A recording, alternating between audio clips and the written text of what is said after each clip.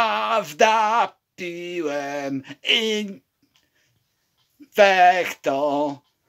A ja nie słyszę, a ja muszę słyszeć chyba jednak tamtego.